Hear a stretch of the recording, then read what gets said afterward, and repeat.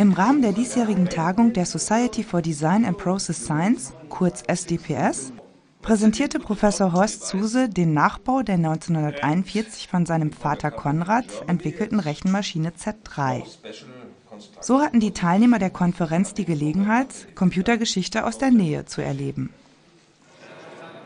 Bernd Krämer, Professor an der Fernuniversität in Hagen und Mitglied der SDPS, kennt Horst Zuse schon aus dem Studium an der Technischen Universität Berlin. Er pflegt sehr, äh, äh sehr intensiv das Erbe seines Vaters. Ja. Er hat die Z3, also den ersten programmierten, lauffähigen Computer äh, nachgebaut, der vor 71 Jahren zum ersten Mal lief, vor den Amerikanern. Und ähm, er, er, führt das vor und er hat eben diese Maschine nachgebaut und war bereit, mir die für diese äh, Zeit hier zur Verfügung zu stellen und die auch äh, zu präsentieren und dazu auch nochmal über den Computer, über die Historie der Computer äh, zu reden in einem eingeladenen Vortrag. Selbst Professor für Informatik und somit in Forschung und Lehre tätig, reizte es Horst Zuse, die Z3 nachzubauen. Es war 2008 und ich saß mit meiner Frau in einem Lokal hier in Berlin, in Wilmersdorf und sagte ihr, ja, weißt du, 2010 habe ich zwei, nicht Probleme, aber zwei Ideen. Das eine wird sich von alleine erledigen, ich werde pensioniert. Und das andere, naja, der Vater wird 100 Jahre alt. Und mich hat ja immer schon gereizt, diese Maschine einmal zu bauen. Einfach um zu wissen, Punkt eins, äh, wie funktioniert sie? Es ist nämlich ein großer Unterschied ob Sie die Pläne, die ja existieren von der Patentanmeldung, auf dem Schreibtisch lesen und sagen, ja, ist klar, so geht's, ja, oder ob Sie es tatsächlich nochmal bauen müssen. Das war der Punkt eins. Der Punkt zwei war, ähm, diese Maschine Z3 eignet sich hervorragend, um zu zeigen, was ein Computer ist. Die Z3 war der erste vollautomatische und programmierbare Rechner. Speicher und Zentralrecheneinheit arbeiteten damals auf Basis von Telefonrelais. Für den Nachbau wurden sie durch moderne Relais ersetzt. Das Grundprinzip ist aber das gleiche wie damals. Also die, die Gleitkommazahlen. Wir haben zum Beispiel hier ja in der Maschine diese Viererreihe, da können wir zum Beispiel 1, 2, 3, 4 eingeben. So, damit kämen wir maximal bis 9999. Das ist natürlich keine sehr große Zahl, aber der Trick ist jetzt, und das kommt aus der Potenzrechnung in der Schule, dass man jetzt 1, 2, 3, 4 und jetzt eine zweite Zahl einführt, mal 10 hoch 3 zum Beispiel. Daraus folgt dann 1, 2, 3, 4 mal 10 mal 10 mal 10 und das gibt 1000. Das heißt, ich kann diese Zahl, die zunächst von der Wertigkeit aus vier Stellen besteht, dann mit 1000 multiplizieren. Und dadurch komme ich auf sehr große Zahlen, indem ich nämlich dann 1, 2, 3, 4, 0, 0, 0 bekomme, wenn man das mit 1000 multipliziert. Und dadurch kann ich genau das Komma, deswegen heißen die auch Gleitkommazahlen verschieben, denn am Anfang war das Komma immer hier am Ende. Und jetzt ist das Komma durch die 1000, also von da faktisch, nach da rechts verschoben worden.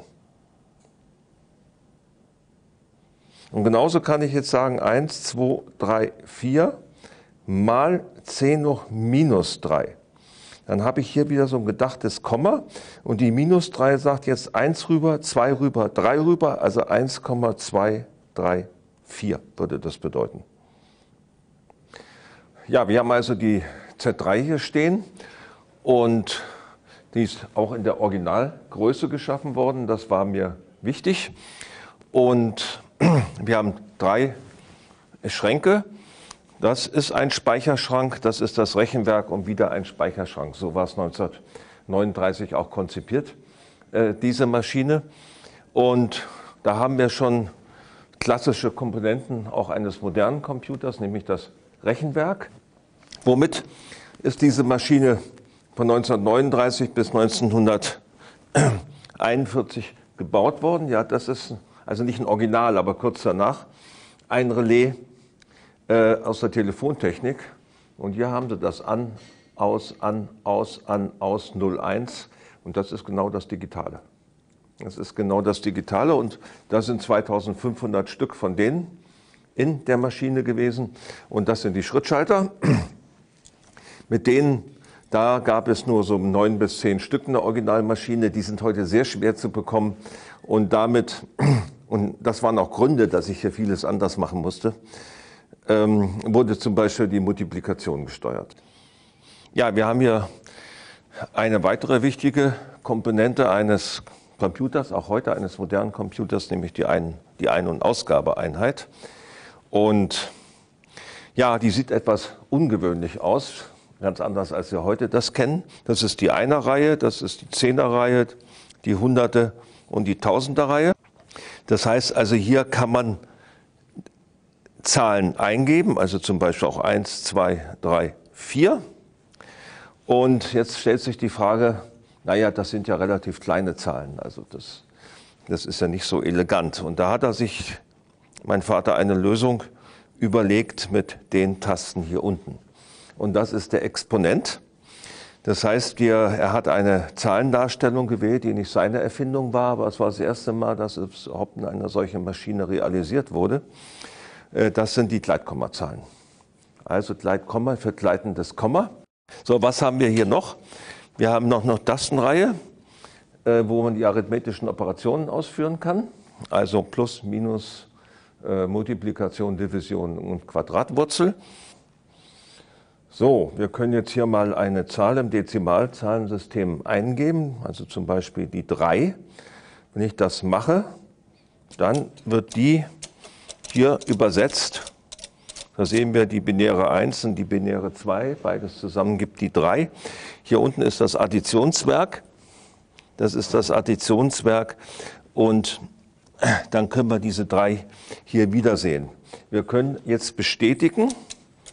Dann sehen wir diese, das ist sozusagen die Enter-Taste, wenn man heute mit modernen PC spricht. Dann sehen wir die 3 auch hier oben. Ja, jetzt geben wir meinetwegen nochmal die 2 ein.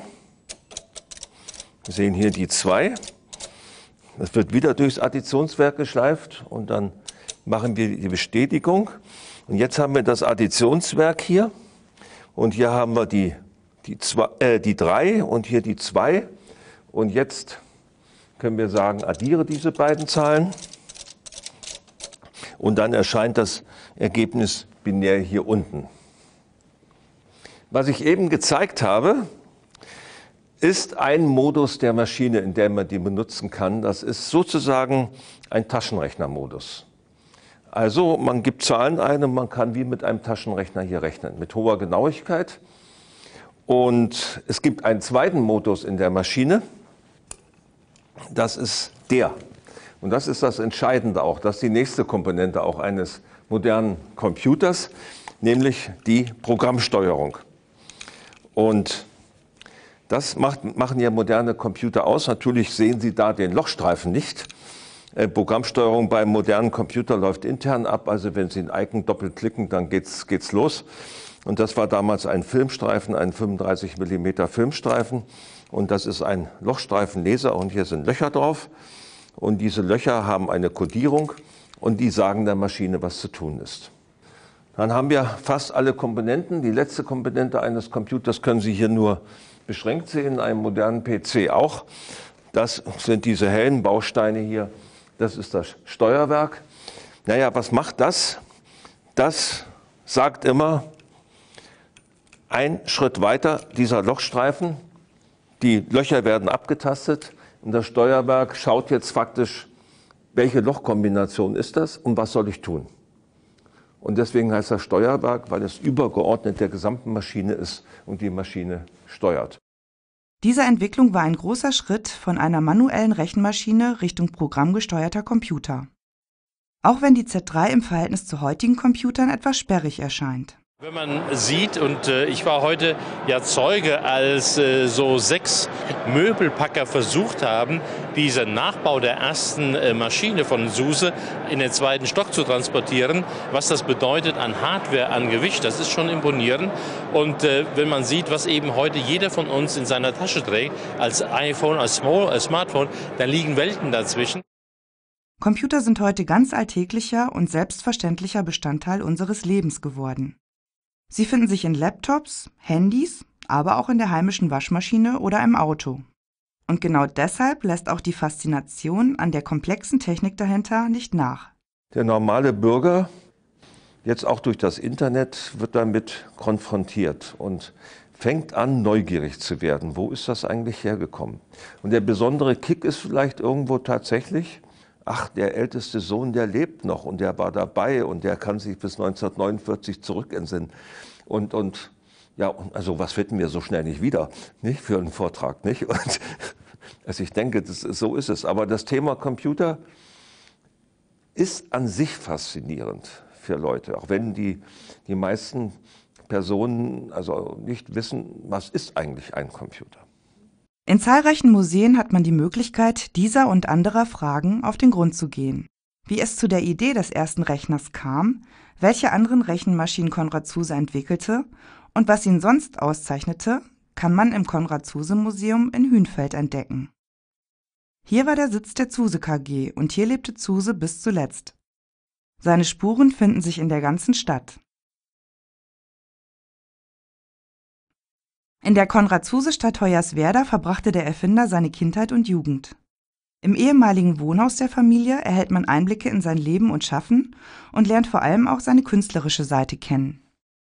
Engagierte Lehrer haben in Bautzen Zuses Werk für Schüler didaktisch aufbereitet. Im Zuseum können Besucher Computertechnik aktiv erfahren und an Vorträgen und Projekten teilnehmen. Das Deutsche Technikmuseum Berlin unterhält eine Dauerausstellung zur Rechen- und Automationstechnik. Ein Bereich zeigt auch Konrad Zuse und den Beginn des Computerzeitalters. Auch das Heinz-Nixdorf-Museumsforum in Paderborn zeichnet die Geschichte des Computers nach und widmet dem Erfinder des ersten Computers in seiner Galerie der Pioniere einen besonderen Platz